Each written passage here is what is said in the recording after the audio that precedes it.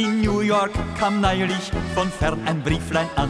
Und dieses, das begann, verehrte Gentleman, Sie fragen's voll Inbrunst, wie's geht, how do you do? Darauf schreib ich Ihnen hier, I thank you, yeku you. Glauben's aber einst den treien Freunde Fresina.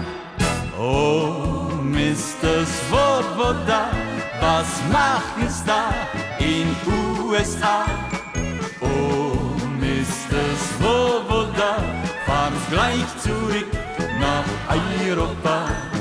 Oh, Mr. Svoboda, wo bleibt dort das etc.?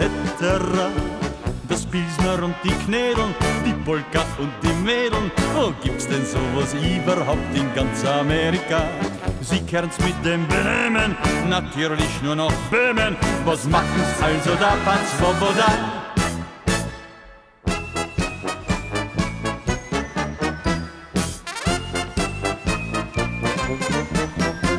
Den Hafen, den Verkehr, die Wolkenkratzereien, das muss vor you verzeihen, schon schätzgle jedna sein.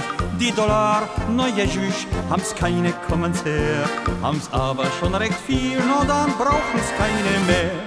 Sonst wird sie das Heimweh zwicken, sagt der Präsina. Oh, Mr. Svoboda, was machen's da in USA? Oh, Mr. Svoboda, fahr's gleich zurück nach Europa.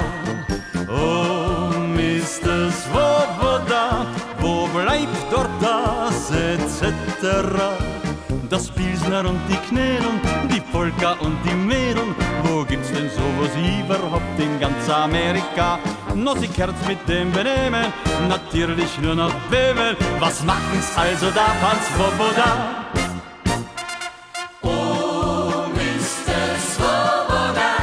Prosim? Na, das frage ich mich auch. Ist gefällig? Na, gute Idee.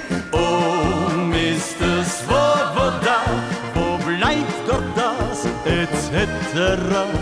Das Pilsner und die Knädeln, die Polka und die Mädeln, wo gibt's denn sowas überhaupt in ganz Amerika? No, sie kehrt's mit dem Benehmen, natürlich nur noch Böhmen. Was machen's also da, Pan Svoboda?